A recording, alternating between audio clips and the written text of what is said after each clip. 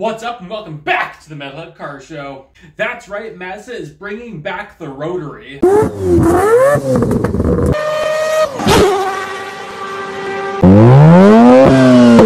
And to quickly go over the most recent history of the fire-spitting Dorito chamber. The last production car that used a rotary engine was the Mazda RX-8. The Mazda RX-8 ran from about 2002 to 2012 with a gorgeous R3 design at the end. Mazda poked at the idea of a rotary car in 2015 with the Mazda RX Vision, but that never came to be. It was just a beautiful production car that we never got. But now we're finally getting a new one with the Mazda MX-30.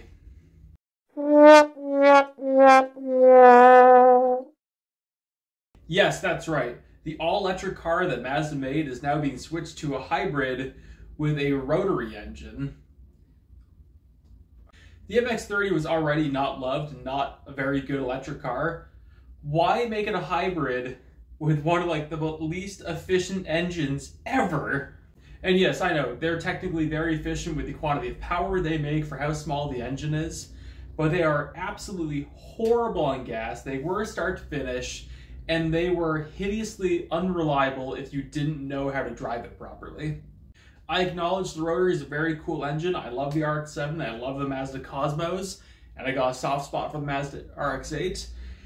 But the idea of bringing it back now and putting it into a crossover hybrid is bafflingly weird to me. And it sort of feels like Mazda saying, you want an RX-9? Well, get Ben, you're getting this crossover. You'll get all the bad fuel economy and poor reliability, but without the benefit of likely not making the same power and looking worse. Not to completely shit on this idea, but it just doesn't make sense to me at all. I can't wrap my mind around why Mazda would possibly think this is a good idea.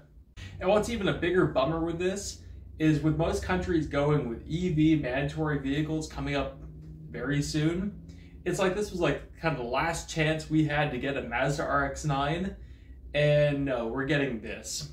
And now it's likely never, ever gonna happen. Although, not that I thought a rotary was ever going to come back.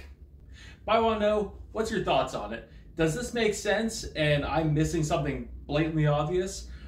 Or is this the most insane shit you've ever heard in your entire life? Let me know in the comments. Thank you all so much for watching. Like and subscribe if you've enjoyed what you've seen. I post on Instagram and occasionally TikTok, and I'll see you later.